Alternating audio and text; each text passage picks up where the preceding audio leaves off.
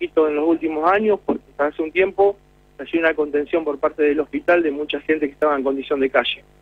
Eh, ya tenemos las directivas del cambio porque no se los puede sostener por el mal comportamiento que han tenido dentro de la institución.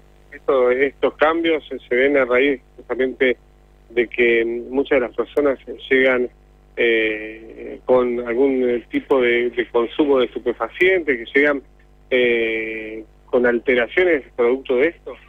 Y tenemos dos cuestiones, ¿no es cierto?, de las cuales son, son yo las veo por lo menos en, mi carácter de jefe de seguridad como lo hable. Por una es el haber tenido la posibilidad de haber eh, permitido en un principio hacer la prueba y llegado el momento, ¿no es cierto?, nos encontramos con el mal comportamiento de la misma gente que venía.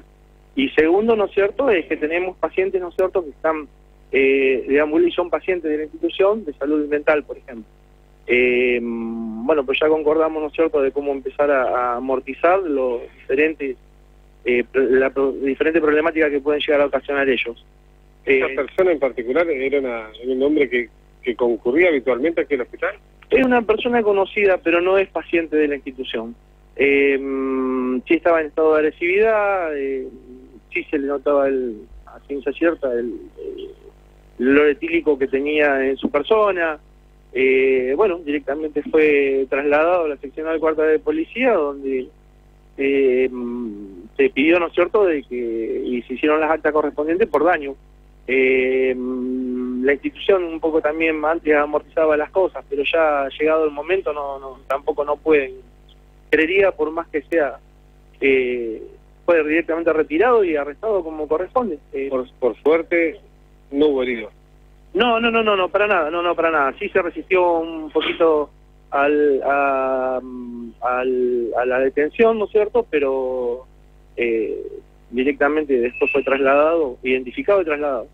Gracias, Marcelo. No, por favor, gracias a ustedes. Agradecemos a Marcelo Luna, quien es jefe de la seguridad institucional del Hospital Iturraspe.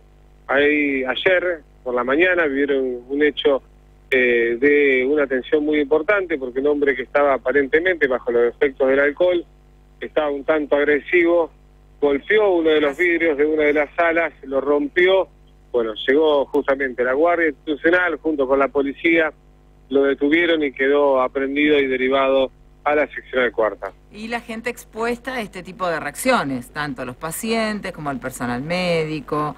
Lo mismo te tocó a vos cubrir varias veces en el Sanco de Santo Tomé, situaciones parecidas con la gente que viene eh, como ofuscada, nerviosa, bueno, en este caso bajo los efectos. Eh, de lo que sería, vamos a hablarlo así, en potencial efecto del alcohol y todo lo que sucede, Colo, ¿no? Totalmente. Nunca se termina con esta historia, la verdad, increíble. Eh, te lo agradecemos, Colo, adiós. Hasta luego. Bruno Ballesteros en vivo con imagen 750.